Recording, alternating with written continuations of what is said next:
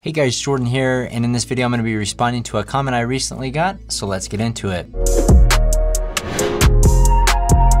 Alright, so on my channel I talk about real estate photography, so if that's a topic you're interested in, make sure to subscribe. In this video I'm going to be responding to a comment, and that was on uh, the survey that I put out earlier last week. Thank you all, all for all those that responded, but I was just trying to figure out uh, what uh, camera brand was most popular out there. But anyways, uh, it was a survey. Uh, what camera brand do you use for real estate photography? You can check out that post um, on the community section. But uh, Yana K says, is the Sony really that good?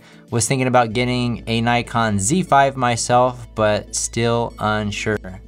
You know, honestly, I think uh, obviously based on on the survey, Sony is the most popular, winning about 50% of the vote, and then um, kind of after that split between Canon and Nikon, but I have all three, right? I have, let me grab them.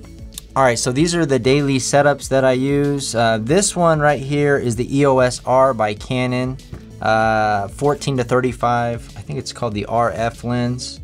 Uh, like, I really do like this camera.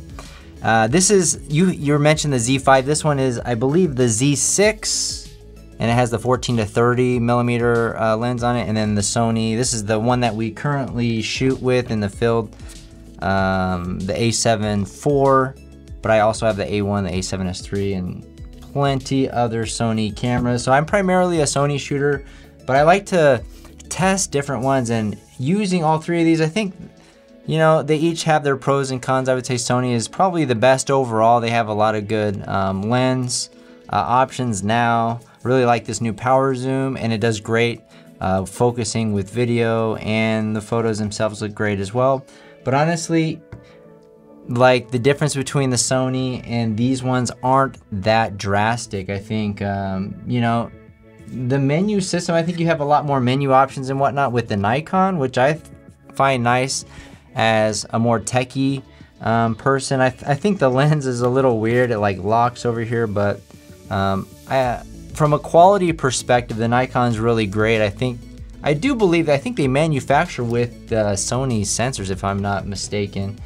And then the Canon, this is probably one of my favorite lenses for real estate photography, the 14 to 35. I like the focal length.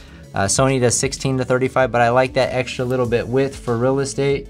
And I think, um, you know, Canon, Canon does do, you know, it is great as well.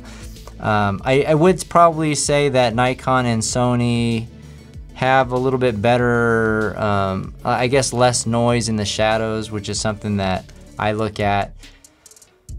Um, details in the highlights. I mean, I, I would give the slight edge to the Sony, but honestly, they're all about 90% the same. You're gonna be, at the end of the day, what matters is quality to your customers. I think you can get great value out of picking up a used Canon or a used Nikon and I think you'll be perfectly happy with it. Um, so anyways, there are a lot of options. I think somebody else also mentioned Fujifilm, which I'm not familiar with. I don't shoot or I haven't shot with Fujifilm for real estate photography, but uh, maybe in, in the future. So yeah, I do think the Z5 or Z6 um, is a great value. I, I do, th there are certain things about shooting real estate photography with it that I do like. Um, there are a, few more flash options in camera and stuff like that. But anyways, that's it. Those are my thoughts. So yeah, go out, get the Nikon if you uh, feel it's uh, what your heart is calling for, I guess. But anyways, uh, that's it for this video. If you got value, hit the like button and we'll see you guys on the next one.